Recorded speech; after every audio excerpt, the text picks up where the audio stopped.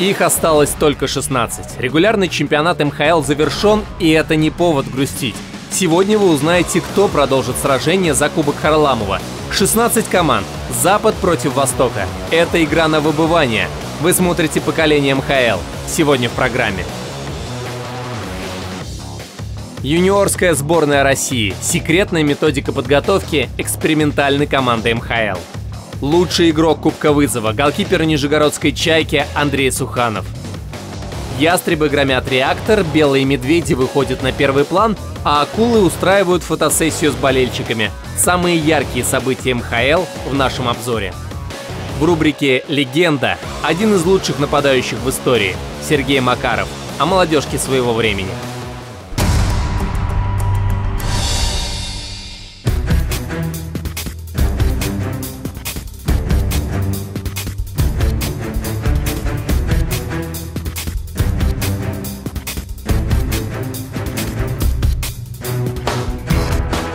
Регулярный чемпионат завершен. Юниорская сборная России У-18 стала победителем дивизиона «Центр», причем солидным отрывом. В конференции ребята уступили только Ярославскому «Локомотиву». Хоккеисты живут и тренируются на базе в Новогорске. Им создали все условия и ждут, что эксперимент по внедрению сборной в МКЛ завершится успешно, станет частью системы подготовки талантов, лучших в стране. Поначалу было тяжело. А, ребята все амбициозные, ребята в своих возрастах именно в школьных программах были лидерами. Поэтому, когда мы собрались здесь а, в июне, то в конце июня, то а, вот 2-3 месяца это была притирка. Потом начал формироваться коллектив. На сегодняшний день я скажу, это серьезный коллектив, который за, друг за друга стоит и стоит намертво. Ребята все отличные, дружные, вместе везде ходим, общаемся много. Вот, в принципе, коллектив у нас самый такой, мне кажется, на мой взгляд, в нашей лиге самый дружный. За счет этого, мне кажется, мы и выигрываем всех. Не всех, но получается выигрывать. Интересный факт, хотя некоторым из них уже есть 18, все хоккеисты играют с защитной решеткой на шлеме. В сборной считают важным выпустить своих воспитанников в большой хоккей со всеми 32. Меня исполнилось, когда 18 лет, я попробовал одеть на тренировку. Ну, так зацепили нечаянно. Была не микротравма. На мой взгляд, э, в визоре удобнее играть, чем в сетке, потому что все-таки поляну лучше видно. Ну и, соответственно, как бы и прилетает по лицу чаще будет. Вот, так что нужно быть осторожным. Решетка немного ограничивает обзор, но в целом не мешает ребятам попадать по воротам. Но на этот раз их ждет более серьезная помеха. Что если заставить игроков сборной сделать вокруг себя, скажем, 20 оборотов?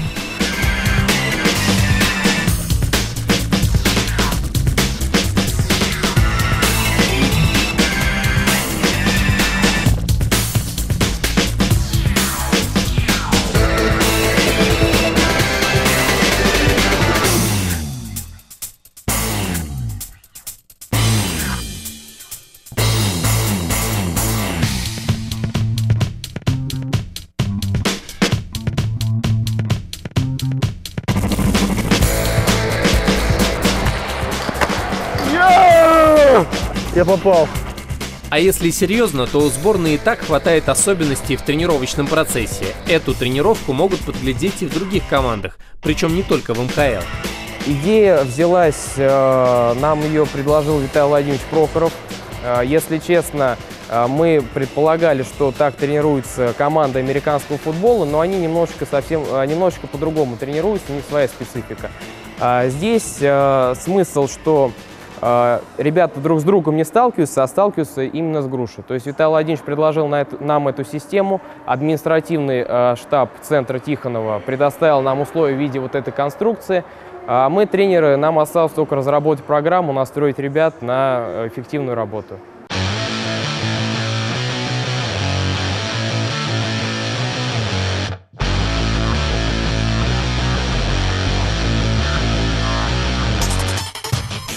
Держим удар, потому что мы выступаем э, в МХЛ э, с ребятами, которые старше, старше на год, на два.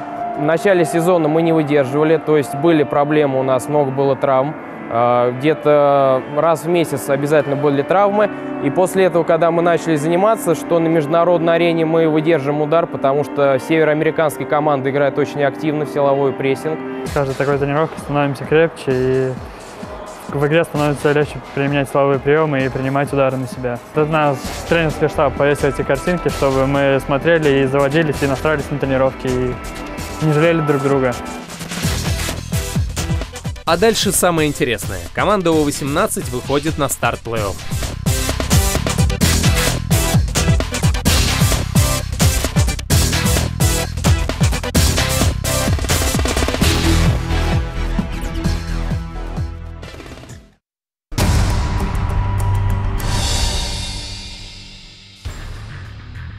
Один из лучших вратарей регулярного чемпионата Андрей Суханов, голкипер Нижегородской «Чайки». И хотя он появился в команде лишь в этом сезоне, ему уже нужно отстаивать честь чемпиона. Он старается не замыкаться на этой мысли. Чемпион, не чемпион. А, это все уже прошлое, да, история, наверное. Пишется новая. И по старым заслугам тебе никто не будет.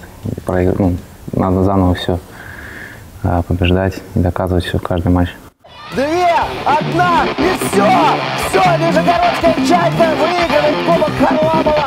Обыгран питерский сказ со счетом 4-1 серии. Его не было в команде, которая выиграла чемпионат, но он уже стал ее частью, доказал, что не зря оказался в «Чайке».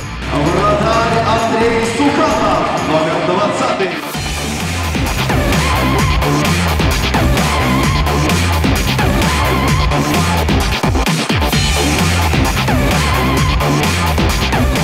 Андрей был признан лучшим игроком Кубка Вызова, матча звезд молодежной хоккейной лиги. Пожалуй, это его главная индивидуальная награда. Чтобы получить ее, он прошел длинный путь. Родился в Нижегородской области, помнит, как встал на коньки, как выбрал вратарскую стезю. В моем родном городе был каток, и все ребята э, пробовали свои силы. Я решил тоже, почему нет. Э, начинал, как все, с нуля, то есть и зацепил это, понравилось. И потихоньку стал ворота, и, и все, пошло. Времена были раньше труднее, мне кажется, думаю, форму тяжелее было достать. Вот. Ну ничего, как-то решалось все. Где-то зашивал сам, то есть все, опыта в этом. Вот. Ну ничего, потихоньку все, своими силами все решилось. Путь на Кубок Вызова лежал через первенство МХЛ, МХЛ-Б. Чтобы попасть в высший дивизион молодежного хоккея, пришлось много работать. Но это того стоило. Играть в Нижнем Новгороде во дворце имени выдающегося вратаря Виктора Коноваленко – большая честь. У нас, наверное, в Нижнем э, посещаемости самый лучший дворец, наверное, МХЛ вообще. То есть у нас каждый матч – это аншлаг просто. У нас все трибуны, все 4,5 тысячи все сбиваются. Не, не могу привести пример, где еще в какой команде такой есть. То есть ты выходишь на матч, ты знаешь, что тебя поддерживает, город за тебя стоит. То есть это придает силу, уверенности. И думаю, они нам в этом сезоне очень хорошо могли, помогают. Вот им вообще очень большое спасибо.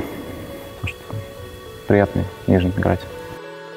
Одержать победу на Кубке Вызова Андрею не удалось, но его заметили. Теперь он сосредоточен на главной цели – повторении прошлогоднего успеха в Кубке Харламова.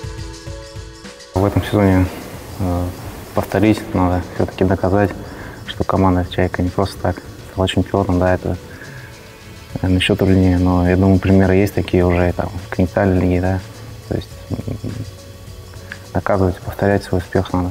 Неважно состав, какой меняется, там лига, все равно надо двигаться к первому месту, чемпионству. Это цель.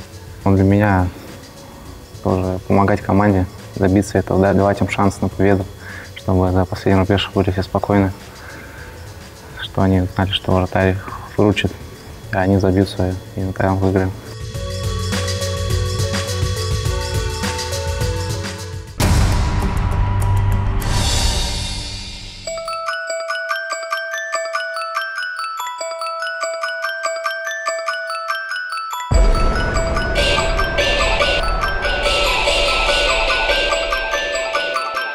«Спартак» завершал регулярку домашним матчем с Ригой. В яркий солнечный день болельщики пришли увидеть, на что способны красно-белые перед плей-офф. Хоккейный клуб Рига приехал в столицу без своего лидера Кристопса Зиле. Защитник получил травму в игре с Красной Армией. «Спартак» владел преимуществом, действовал агрессивно, по-хозяйски и в первом периоде повел 3-0.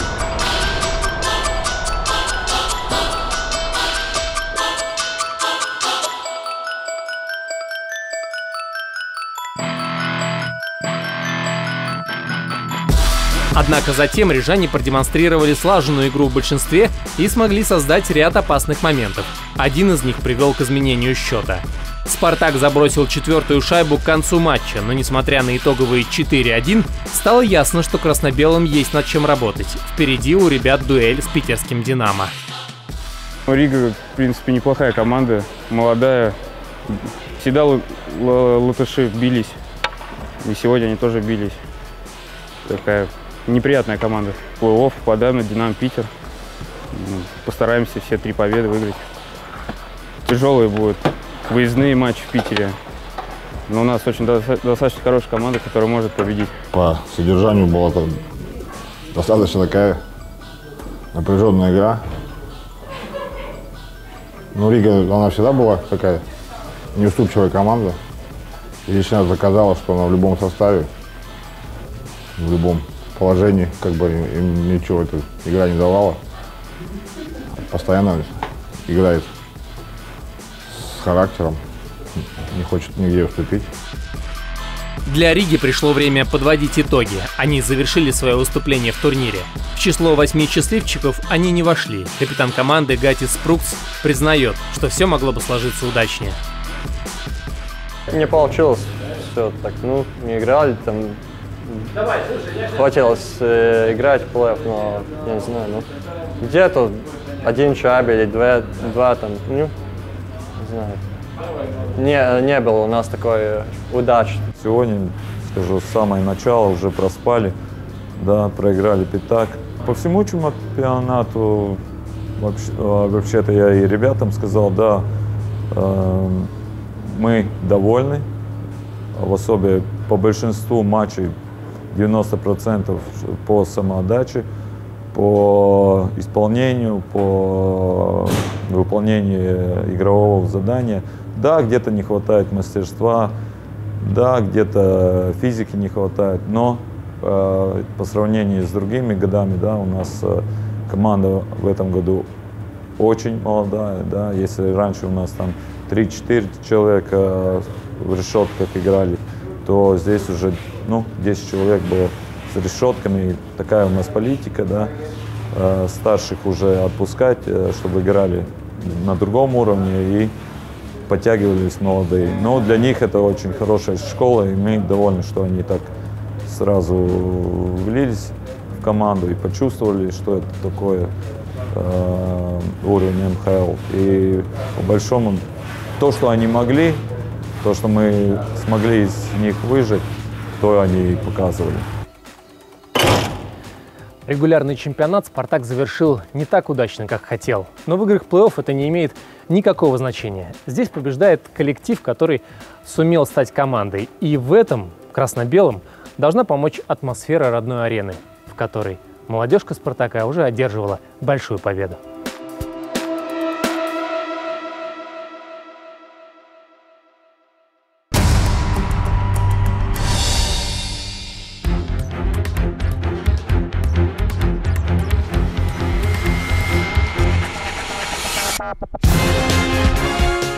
Удалось хоккейному клубу МВД завершить сезон победой. Гости Алмаз из Череповца не оставили им шансов.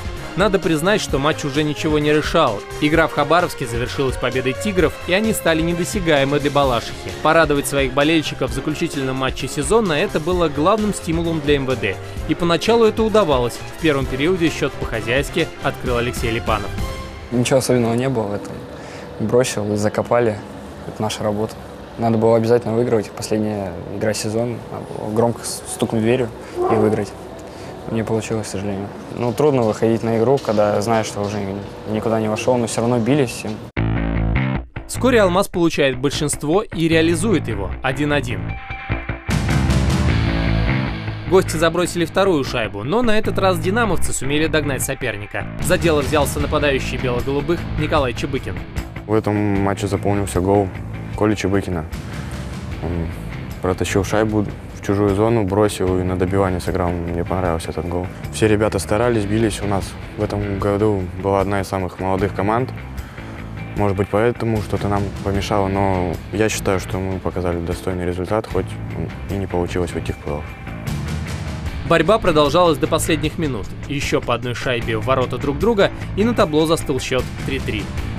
После второго периода выходили, вели в счете. Задача была сохранить счет, удержать его, выиграть игру, но не получилось. Вот, удаление сломали игру. Гости получили два численных преимущества в конце встречи, и Сергей Лапин лишает болельщиков МВД радости победы. В этом матче и в этом сезоне команде чего-то не хватило. Некоторые ребята, конечно, были без настроения, все какие-то, ну, тусклые, но вроде тренера подбодрили, сказали, что на этом жизнь заканчивается. У нас еще все впереди. Как еще тренер сказал, что сильные играют в плей-офф, а чемпионы играют на чемпионатах мира. Ну, поэтому считаю, что пусть и немного что-то не, не очень было сейчас в раздевалке, там кто-то расстроился, кто-то больше, кто-то меньше, но в целом нормально. Для хоккейного клуба МВД пришло время делать выводы и двигаться дальше.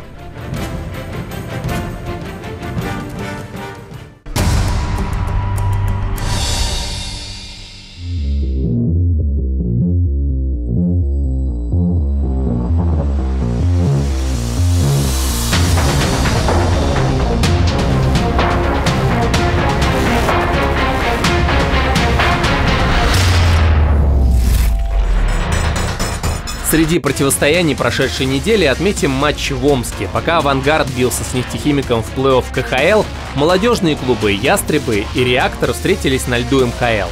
Не исключено, что командам предстоит играть в Кубке Харламова, что придавало поединку особый оттенок, и тем более неожиданно завершился матч. Ястребы забросили в ворота гостей 6 безответных шаек. Станислав Третьяков стал героем матча, сделав дубль и голевую передачу. Вячеслав Новицкий записал на свой счет сухую игру, отразив 26 бросков хоккеистов «Реактора».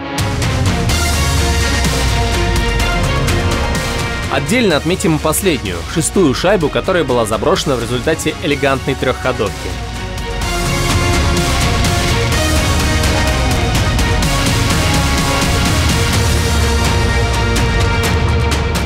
И еще нельзя не заметить, как радуется успехом команды главный тренер Ястребов Игорь Земляной. Каждую шайбу он отмечал эмоционально, словно заряжая ребят на очередное достижение. Спасибо Омску за организацию хорошей картинки с матча.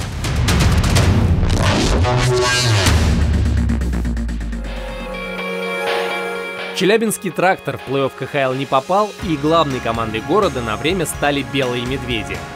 Трактор ТВ запечатлел, как во дворце встречали болельщиков, предлагая им широкий выбор развлечений. А на льду все было еще разнообразнее. Голевая феерия от медведей и оренбургских сарматов.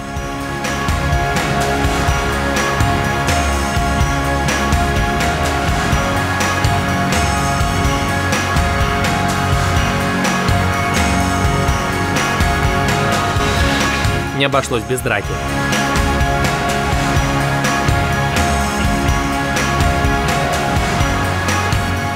Решающую шайбу в овертайме забросил Иван Безруков. Индивидуальное мастерство у него на хорошем уровне. Исполняющий обязанности главного тренера Максим Смельницкий похвалил ребят. Жаль, в плей-офф лидеры прошлогодней регулярки не пробились. Победа была нужна, у нас была затяжная серия из поражений. Настраивали ребят, что только на победу, только на победу выходить, побеждать, выигрывать в каждом моменте, в каждое единоборство, чтобы выходили победителями. И к тому же сегодня праздник хотели и болельщиков челябинских порадовать. Да, много было ошибок. Без ошибок, к сожалению, не получается у нас. Но, тем не менее, сегодня добились положительного результата. Я считаю, это придаст и команде дополнительных эмоций. Ну и все-таки команда показала в конце свой характер. То, что победили в овертайме.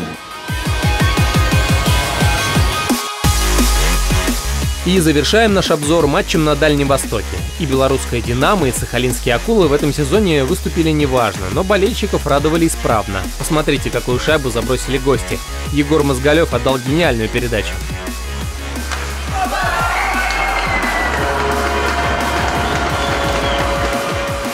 В итоге «Динамо» отыграла со счета 3-1, но уступила в добавленное время. Михаил Истигнеев забросил решающую шайбу.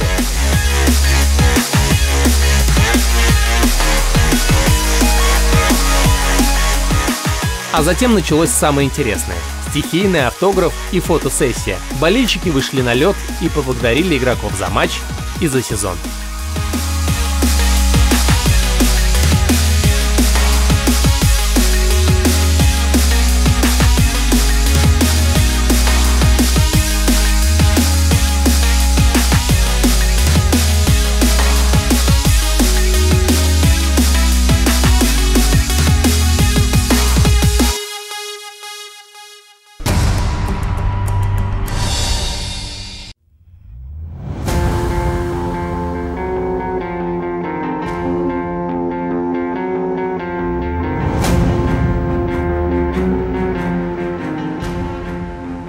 МХЛ – молодая лига. Ее традиции – это история молодежного хоккея России и Советского Союза. Сегодня для поколения МХЛ свой путь к олимпийским вершинам вспоминает Сергей Макаров –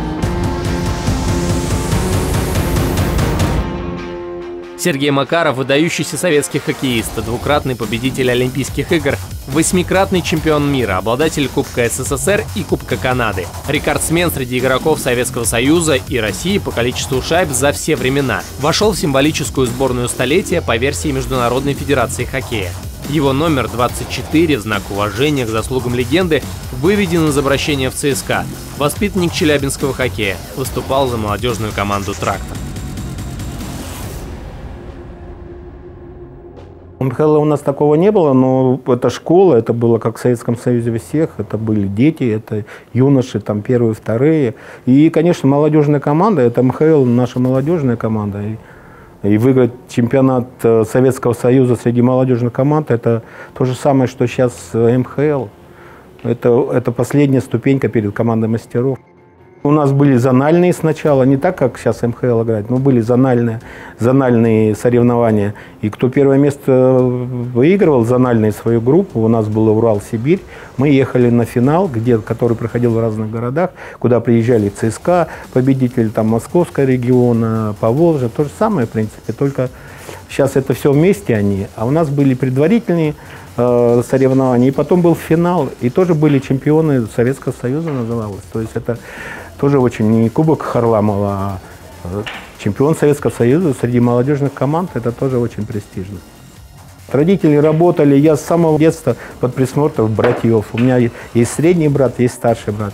Э, оба спортсмены, у меня просто другого пути не было, э, куда пойти и что делать. Поэтому э, наставляли на путь истинный, когда пытался уйти в сторону и получал и подзатыльника, и более можно сказать, там грубо форме, поэтому мне было сложно вильнуть куда-то в сторону уйти, потому что для меня, как я шел бы как бы за братьями, поэтому э, с раннего детства за руку с Колей, с Юрой, за руку на стадион, за руку на стадион, с самого раннего детства, поэтому мне в этом было проще.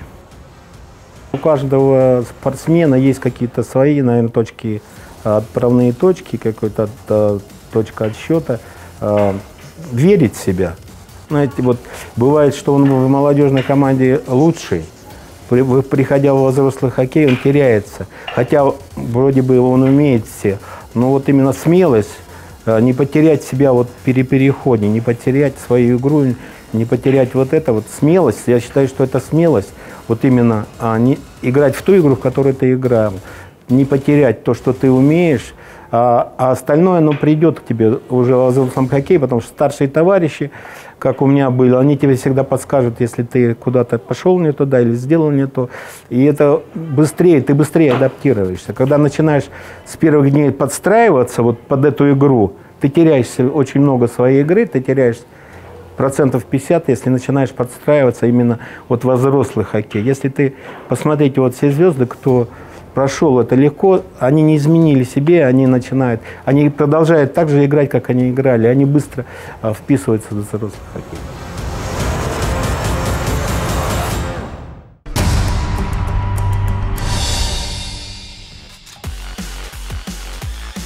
Последний день регулярного чемпионата состоялись 15 матчей. Для большинства команд все уже было ясно, кто-то обеспечил себе место в плей-офф, кто-то потерял шансы, но было делом чести провести последний матч на высоком уровне. Ключевую победу одержали амурские «Тигры». Со счетом 3-2 обыгран клуб «СКА» «Серебряные львы». Таким образом, хабаровчане стали последним участником Кубка Харламова на Западе. На востоке своего добился реактор, победив сибирских снайперов, он окончательно выиграл сражение за плей-офф у казанского Ирбиса. Победителями в своих конференциях стали Лока и Омские Ястребы. Лучший процент побед у Лока. Можно подвести итоги в личной статистике. Лучший бомбардир Рафаэль Бикмулин из реактора 67 очков, он же лучший снайпер 34 шайбы. Андрей Феклистов из СКА «Серебряные львы» на втором месте бомбардирской гонки, он лучший ассистент 40 передач. В тройке партнер Бикмулина по звену в реакторе Игорь Угольников. Среди вратарей лучше всех регулярку провел Илья Румянцев из питерского «Динамо». Самый результативный защитник, опять же воспитанник реактора, Камиль Фазалзянов, 28 очков. У него же один из лучших показателей полезности, плюс 29. И вот пары плей-офф. 8 команд на западе, 8 на востоке. Серии продлятся до трех побед. Кубок Харламова стартует 8 марта.